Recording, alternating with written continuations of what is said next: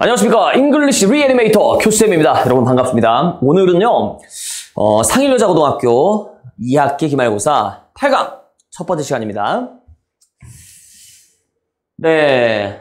어떻게 10대들이 판단 내리느냐, 뭐 그거 관련된 글이죠. 여기도 마찬가지로 단어 보고요. 핵심 구문 짧게 본 다음에 본문 들어가도록 하겠습니다. 단어 어렵지 않아요. 오늘 하는 거 정말 쉬워요. 봅니다. think back to 생각하는 건데 back back이래요. back think back to면 무엇을 회상하다 과거의 것을 한번 생각해 보다예요. 그래서 제가 써볼게요. 회상하다 요거랑 비슷한 친구 중에 R로 시작하는 친구 있어요. recall. 그죠? recall. 과거를 다시 한번 불러보는 거죠. 그죠? 회상하다.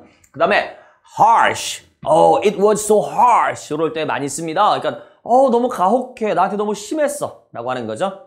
그래서요. harsh, 가혹한, 심한. 그 다음에 normally. normal은 여러분들 정상적인이라는 거예요. 그래서 원래 의미는요. 이게 이렇게 기울거나 이렇게 기운 게 아니라 곧게 이렇게 서 있는 상태를 normal하다라고 얘기합니다. 여러분 과학 시간에 혹시 물리 시간에 법선이라는 거 들어봤어요? 법선? 수학 시간에는 수선. 이렇게 기준이 있습니다. 아, 이거 뭐야 이거. 이렇게 기준선에 90도로 바로 내려온 거 있잖아. 이거를 과학 시간에 normal이라고 얘기를 합니다. 아시겠죠? 네, 또 괜히 설명한 것 같은 느낌이 듭니다. TMI 같은데요. 네. 그래서 이게 뭐야? 정상적 경우에는 혹은 보통의 경우에는 이렇게 해석되는 거예요. 그죠? 그래서 보통의 경우에는 혹은 평상시에는 보통의 경우라면 이렇게 해석하시면 됩니다. 그리고 계속 갑니다. Be likely to 여러분 likely라는 형용사 자체가요 가능성이 있는 어 그럴 법한 이런 뜻이에요 그래서 be likely to는요 뭐뭐 할 것 같구나 어 그래 충분히 그런 일이 일어날 것 같다 뭐뭐 할 가능성이 가능성이 있다 혹은 가능성이 크다 할 때 씁니다 그 다음에 think through예요. through는 뭔가를 뚫고 이렇게 이렇게 가는 거죠. 그래서 대충 생각하는 것이 아니라 곰곰이 생각해보다. 그저 뭔가를 고려하다. 진지하게 쭉 생각해 보는 거겠지. 그 다음에 be about. 여러분 about이 없으면요. be to. 뭐뭐 할 것이다. 음 그런 일이 일어날 것이다. 이런 뜻인데 about은 주변이란 느낌이잖아요. 그래서 이제 막 뭐뭐 하려 하다. 이제 막 뭐뭐 하려 하다 이런 뜻입니다.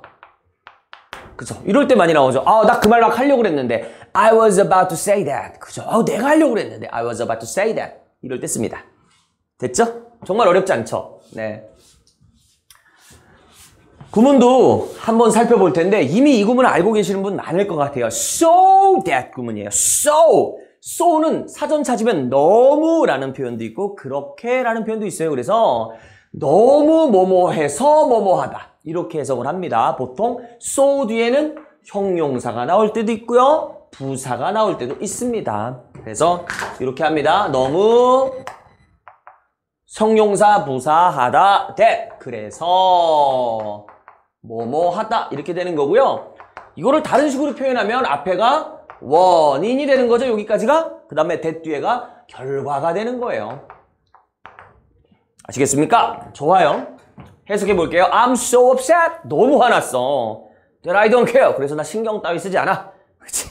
그 다음에 I ran so fast. 나 되게 너무 그렇게 빨리 달렸다. That 그래서 그 결과 she couldn't catch me. 그녀가 나를 잡지 못했다. 내가 빨리 달리니까 못 잡았겠죠. 마지막에 이런 표현도 꽤 자주 나옵니다. You are so honest. 너는 너무 정직하다고요. 좀 뒤에 붙여볼게요. You are so honest man. You are so honest man. 이렇게 so 형용사가 나오면요. 뒤에 가끔 가다가 관사와 명사가 나올 수 있는데 이때는 어순이 조금 중요하기는 해요. 그렇지만 우리 단원에서는 아무튼 so 형용사 부사 뒤에는 그래서 라고 해석하는 거 이게 사실 포인트예요. 그죠? 그래서 이건 덤으로 알아두세요. 나, 네가 너무 정직해서 너무 정직한 사람이라서 That I trust you. 내가 너를 믿는다. 이거지? 그 다음에는 관계. 관계절 한번 해볼게요. 보세요. 선생님이 여기 얘는 관계대명사고 얘는 관계부사란다. 그 얘기를 하고 싶은 게 여러분 아닙니다. 아닌 거예요. 뭘 얘기하고 싶은 거냐면 뭘 얘기하고 싶은 거냐면 제가 네모 쳐놓은 거 봐봐. 얘가 품사가 명사지. 명사의 명사. The time, 시간이라는 명사고요. something, 어떤 것이라는 명사예요. 그죠? 이렇게 명사가 우리가 독해하다가 이렇게 어, 너 명사구나. 명사 요 녀석을 봤어요. 그 뒤에, 그 뒤에 뭐 when이 됐던, 대시 됐던, 후가 됐던, 위치가 됐던 요런 녀석이 나오고 뒤에 이제 주어, 수로, 형태 다시 말해서 이렇게 절이 펼쳐진다면 절이 펼쳐진다면 아주 높은 확률로 둘은 뭐예요? 관계가 있는 거예요. 그래서 무슨 절이라 불러요? 이 뒤에 있는 절을 관계절이라고 부르는 거예요. 그럼 이 관계절은 누구에 속했느냐? 그쵸? 주절에 속했다라고 불러도 되지만 조금 더 정확히 얘기하면 이 명사에 속한 절이 되는 겁니다. 이게 둘이 이렇게 관계가 되는 거예요. 그지? 무슨 말씀인지 아시겠어요? 이렇게 시간의 when, 장소의 where, 이유를 나타내는 why 이렇게 되면 관계 부사절이라 부르는 거고 이런 애들은 관계 대명사절이라고 부르는 건데 오늘은 그 포인트가 아니라 이렇게 명사 뒤에 이런 절이 붙으면 일단 묶고 해석해보라는 거야. 둘이 묶어줘야 돼. 사슬 고리로 연결시켜야 되는 거란 말이야. 그리고 이렇게 질문할 수 있어. 아니 이런 꼴인데 수식하지 않는 경우도 내가 본 적 있다. 맞아요. 맞아요. 그래서 요거 하나 더 드립니다. 얘가 물음표. 그러니까 뜻이 아주 확정적인 구체적인 뜻이 아닌 명사일 때는 관계를 맺을 가능성이 되게 높은 거예요. 보세요. Now is the time. 지금이 바로 그때다. 어떤 때인지 알아요? 물음표죠. This is something. 이것이 바로 something. 어떤 거다? 어떤 거지? 알아요? 모르죠. 그래서 구체적이지 않고 불확실한 명사가 왔을 때 뒤에 어어어어 너 조동사 나왔어? 어어어 너 조동사 나왔어? 이러면 얘는 10중 8구 사실 80% 90% 이상 관계예요. 관계예요. 아시겠죠? 그 다음에야 이거를 알면 해석은 다 돼. 근데 그 다음에 아 여기 관계 부사 써야 되는지 관계 대명사 써야 되는지 그거 시험에 나오잖아요. 어, 그거는 그거는 요 다음 레벨이죠. 그거는 분석해서 푸는 거예요. 어떻게 분석하는 거냐면 선생님이 이거 지우고 다시 해볼게요. 일단은 붙여서 해석하는 건 알겠죠? 내가 당신을 가장 필요로 하는 때 바로 지금이다. Now is the time. 이거는요. You wouldn't do without her. 그녀 없이는 네가 저지르지 않을 짓이지.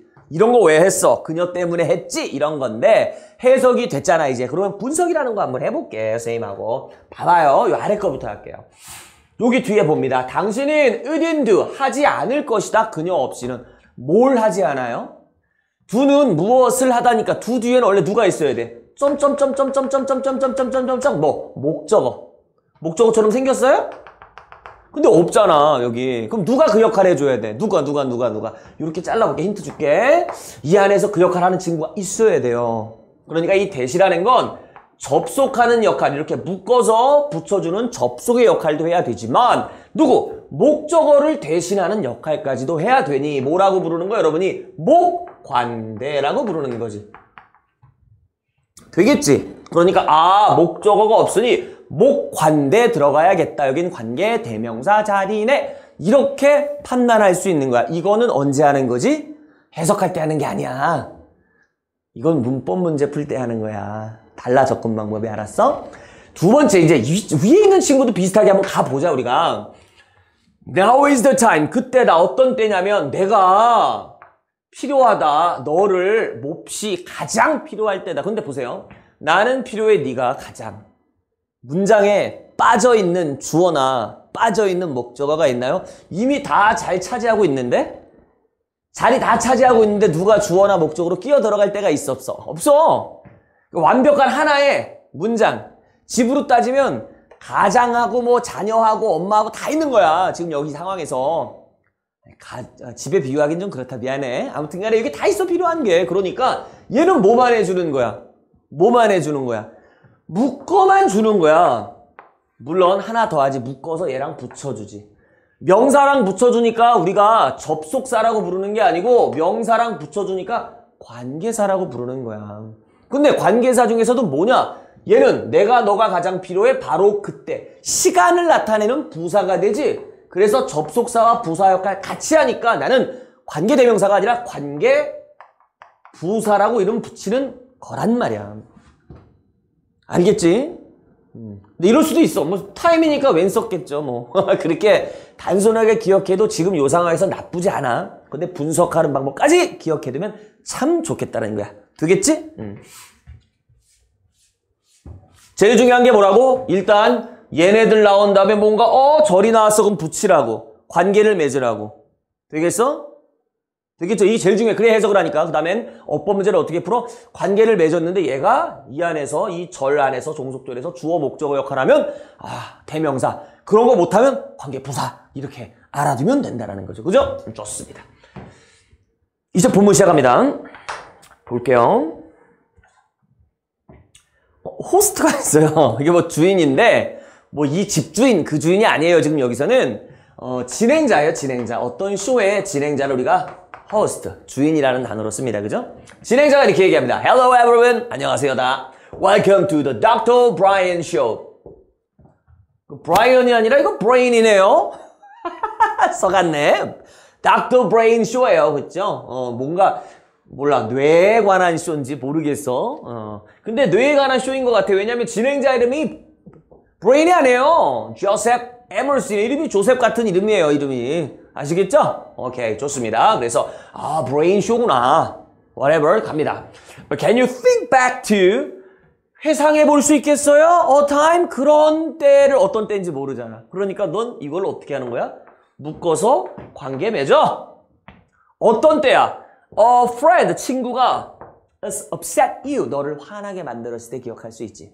뭐 너를 놀렸거나 조롱했거나 험담했거나 그잖아. 되겠지? 잘 봐. 이거 접속사야 관계사야? 힌트. 명사랑 관계가 있어. 어, 관계사. 그치? 이런 거 들리지 않겠죠? 예. 정확히 말하면 시간을 나타내는 관계 부부사죠. 계속 갑니다.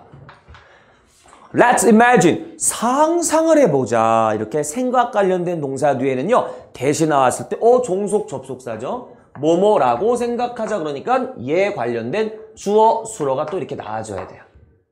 그지? 생각해보자. 뭐라고? 네가 결정 내렸다. Write an angry message. 분노의 메시지를 보내자고. 누구에게? That friend. 그 친구에게. 왜? 친구가 날 업셋했거든. 화나게 했거든. 그지? You say some harsh things. 너는 어떤 가혹한 것들을 말했지. 잠깐만. 이 things가 아주 구체적인 단어야 아니야? 아니야. 물음표 올시다. 그러면 뒤에 있는 애는 묶어서 붙여서 관계. 좋았어. 관계사야. 그지? 네, 좋았어. 어떤 가혹한 것을 말해. You normally 네가 보통의 경우 평상시라면 으든 say 말하지 않을 해석되지. 묶으면 해석할 수 있다 그랬지. 그럼 해석한다면 뭐해? 분석. 저 대시 어떤 대신지 봐봐. 너는 으든 say 말하지 않을 것이다. 아, 무엇을 말하다의 목적은 어디 갔니? 없어. 왜 없을까? 내가 그 녀석이야. 그래서 이 친구는 목 관대 올시다. 쉽죠? 네, 쉽다고 했잖아. 계속 가요. You are so angry. 너는 너무 화가 났어. 그래서 that you don't care. 너는 이제 신경 쓰지 않는 거지. 어쩌라고 이러면서 이제 분노의 메시지를 보내려고 하는 거야.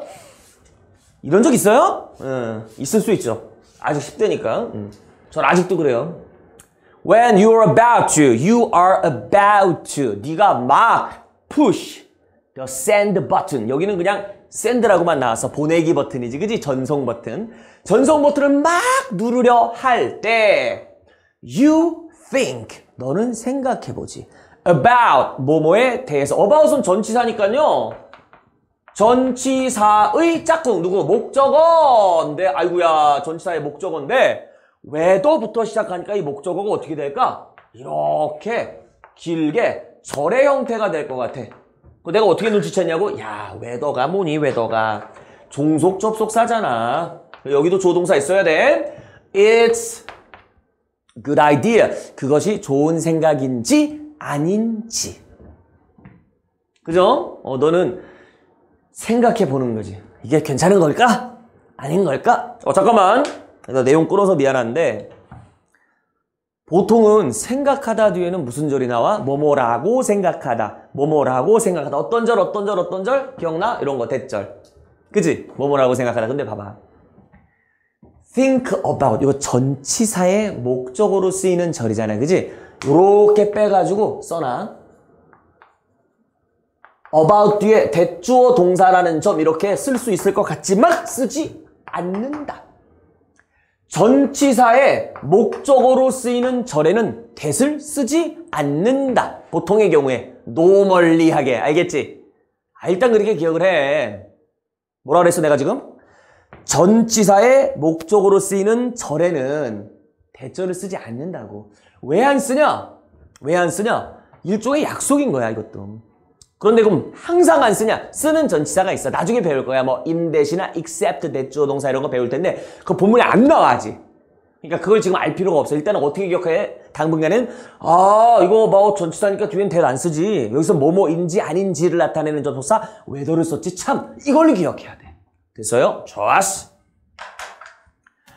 갑니다. Before you know it, 네가 알기도 전에 부지 불식간에 you send have pp니까 이미 눌러버렸어. 현재 완료야. 이미 눌러버렸어요. The message anyway. 메시지를 어쨌든. 그러니까 뭐야? 눌러야 돼 말아야 돼 라고 생각하는데 손은 간 거야 벌써. 큰일 났죠? Teens are more likely to make these types of decisions than adults. 10대들은요, be likely to 할 가능성이 있다는데 more예요. 할 가능성이 더 높다. 그죠? 이런 유형의 결정을 than 누구보다 adult 성인보다. 그죠? 애들은 왜? With the help of our guest, 우리 게스트 손님의 도움을 가지고 즉 손님에게 도움을 받아 we will learn 우리는 배워보자. 배우다 뒤에 y가 나왔으니까 여러분들 아 배우다의 뭐야 목적어 주어 동사가 나오니까 절이에요. 그죠? y는 이렇게 해석하시면 돼요. 쉬워요. 왜 뭐뭐인지. 이렇게 해도 되고요. 뭐뭐인? Y는 더 reason하고 똑같아. 그지? 뭐뭐인? 이 유? 이래도 돼. 해방. 왜 10대들이 tend to act 행동하는 경향이 있는지 뭐 하기 전에? Thinking. Through 깊게 생각해 보기 전에 모든 것을 깊게 생각해 보기 전에 왜 이러는 경향이 있는지. 그죠? 혹은 10대들이 깊게 생각하기 전에 이런 행동을 하는 경향이 있는 이유. 이래도 되죠? 아, 10점. 음, 오케이. 계속합니다. 그리고 여기 before 뒤에 좀 이렇게 좀 보셔야 돼요. before. 이 친구가 뭐뭐 하기 전이잖아. 이 친구 전치사로 쓰였다고 한번 해보자 전치사면 전치사 뒤에는 뭐가 나와야 돼? 목적어, 전치사의 대상이 나와야 되는데 목적어는 항상 명사, 품사만 요구하지, 그지? 그러니까 내가 여기 뭐뭐 하다라는 동사를 쓰고 싶어도 안 돼. 뭘로 바꿔줘야 돼? ing 형태, 동명사 형태를 바꿔줘야 돼. 만에 하나, 저 전치사 아니라 저 종속 접속사인데요. 접속사라 하더라도 마찬가지야. 접속사라 하더라도 나 동사 혼자 쓰고 싶어도 안 돼. 왜? 짝이 있어야 돼. 주어라는 짝이 있어야 돼. 혼자 안 돼. 그럼 어떻게 해야 돼? 혼자 당당하게 살아남을 수 있도록 뭘로 바꿔줘야 돼? ing, 분사구문으로 바꾸는 거야. 되겠어? 얘를 분사화하던 동명사화하던 결론은 하나야. before 뒤에 동사 달랑 쓰지 말으라고. 아시겠죠? 좋습니다. 이걸 틀릴 사람은 없겠죠? 거의 다 했어요. 오늘 첫 시간이라서 짧아요. Now here's our guest for tonight. 오늘 여기에 오늘 밤을 위한 손님이 왔다. 이제 손님 소개, introduce 해야 돼요. 그죠? Dr. Jenny Clarkson. Thank you for joining us. 함께 해줘서 고맙다. 그죠? 이게 오셔서 감사합니다. 이런 얘기예요. 그죠? Thank you, join us. 근데 이거 잘 봐야 돼요, 여러분들. 전치사니까 ing 쓰는 건 맞아, 그지? 좀 전에 했지, 그지? 근데 하나 더 봐. join은 누구를 쓰지 않아? 함께라는 뜻의 전치사 with를 쓰지 않는다는 거예요. join us, join us, join us, join us. 알겠죠? 두 번째. 이제 닥터 클라스는 소개받아갖고 나와서, 나와서 얘기합니다. Thank you for having me, Joseph. 저를 가져줘서 고마워요. 그런 게 아니고 여기서 having은 어, 불러줘서 고맙다 할 때 쓰는 표현이에요. 알겠죠? Thank you for having me here. 이렇게 할 수 있어요. 됩니까? 이렇게 해서 Part 1 끝냈습니다. Part 2에서 다시 만나요. 감사합니다.